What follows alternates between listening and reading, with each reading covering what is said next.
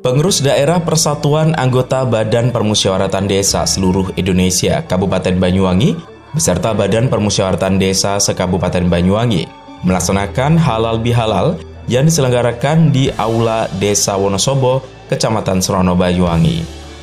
Sebelum acara dimulai, beberapa tarian disuguhkan untuk menyambut tamu, yakni tarian fenomenal khas Banyuwangi yaitu tari gandrung yang dibawakan oleh siswa-siswa SMA Negeri 1 Serono.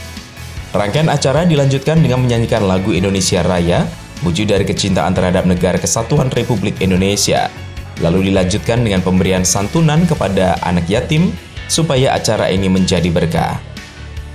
Dalam sambutannya, Kepala Desa Wonosobo menyambut baik kegiatan yang diselenggarakan di wilayahnya ini. Selaku pemangku jabatan Desa Wonosobo, dia menyampaikan selamat datang bagi seluruh anggota Badan Permusyawaratan Desa di Kabupaten Banyuwangi Selaku Dewan Perwakilan Rakyat Daerah Dapil 3 menambahkan, menurutnya kegiatan ini sangat positif.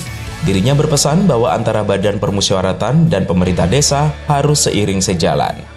Ini merupakan suatu stimulus baru ya, rangsangan baru yang mana uh, pemerintah desa itu kan merupakan ujung tombak antara BPD dengan pemerintah desa ini harus benar-benar sinergi.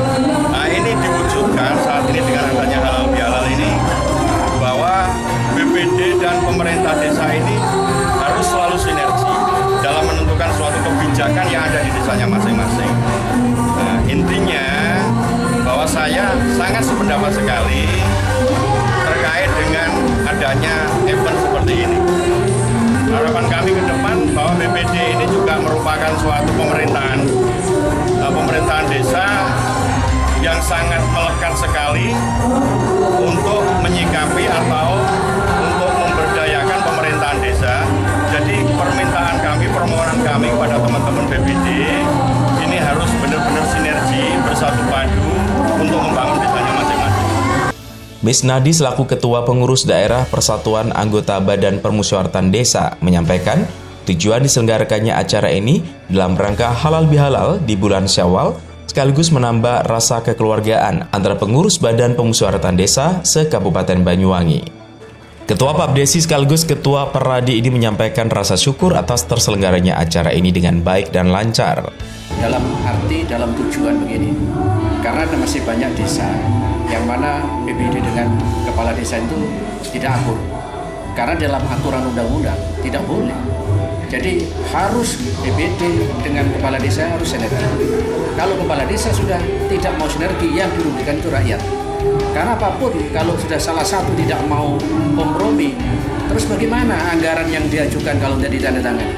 Tidak mungkin akan dicairkan. Siapa yang rugi adalah rakyat. Oleh karena itu dengan adanya WAPSI di Banyuwangi ini, ini dalam rangka untuk mempersatukan, ya, mengkompakkan, mensinergikan antara kepala desa dan BPD. Oleh karena itu saya sebagai ketua PAPSI sering memberikan masukan, memberikan penyuluhan terhadap aturan-aturan perda yang berkaitan dengan pemerintahan desa, apa tugas BPD, apa tugas Balida. Kalau sudah kedua-duanya itu sudah tahu tupoksinya masing-masing, maka pemerintahan desa itu akan berjalan dengan baik. Itu kata kuncinya di situ. Bagi Gayung bersambut, Ketua Persatuan Anggota Badan Pemusyawaratan Desa Jawa Timur sangat bangga dengan apa yang dilakukan Papdesi Banyuwangi dan dirinya juga berterima kasih sudah melaksanakan program dengan baik. Banyuwangi ini sangat tepat kalau memiliki slogan Banyuwangi Rebound dengan berdesa sepenuh hati, spirit mempererat silaturahmi, membangun sinergisitas di desa untuk membangun Banyuwangi lebih baik lagi. Maka dari itu, peran Persatuan Anggota BPD seluruh Indonesia khususnya eh, pengurus daerah Kabupaten Banyuwangi ini menjadi eh, pilot, menjadi spirit, menjadi motivasi kami di Persatuan Anggota BPD seluruh Indonesia Provinsi Jawa Timur. Fondasi yang diletakkan oleh eh, ketua orang tua saya Abah Misnadi Sarjana Hukum ini menjadi peletak dasar Banyuwangi Rebound. Nanti tidak saja Banyuwangi Rebound tapi Jawa Timur Rebound dari Persatuan Anggota BPD seluruh Indonesia dengan mempererat seluruh komponen. Tidak saja BPD tidak saja anggota BPD tapi kepala desa. Tidak saja dari eksekutif eksekutif tingkat desa tapi eksekutif jajaran tingkat atas. Mulai dari bupati wakil bupati tidak saja dari eksekutif kabupaten tapi legislatif di tingkat kabupaten. Dengan dihadirkan uh, anggota DPRD dari fraksi yang membidangi yaitu fraksi satu tentang pemerintahan. Ini nanti menjadi mempererat di situlah yang menjamin Banyuwangi menjadi Banyuwangi rebound. Takaballah minawa minkum, takabal ya karim dan selamat berkreasi bersatu berjuang martabat. Wakil Bupati Banyuwangi Sugira juga mendapatkan baju kehormatan dari Ketua Papdesi Kabupaten Banyuwangi.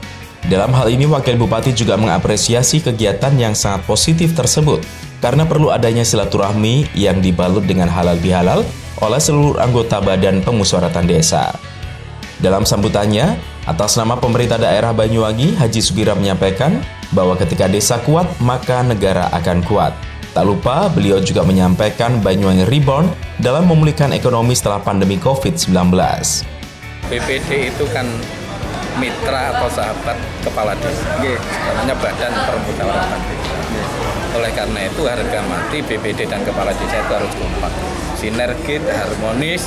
Makanya pada hari ini acara halal bihalal sekaligus merajut harmonisasi antara BPD dan kepala desa dalam rangka melayani pembangunan untuk masyarakat. Karena itu adalah kunci yang utama dan pertama ketika desa BPD dan kepala desa dan perangkatnya itu kompak untuk melayani masyarakat bukan hanya Banyuwangi tapi negara kesatuan Republik Indonesia akan utuh terjaga karena negara kesatuan atau NKRI itu harga mati. Dan ini diawali fondasi dari desa ini yang berangkat ketika sinergitas harmonisasi antara BPD dan kepala desa. Intinya kami sebagai perintah daerah mengharapkan semua dan mewajibkan agar BPD dan kepala desa itu selalu bermusyawarah dalam rangka melaksanakan setiap jengkal dan detik pembangunan untuk melayani masyarakat.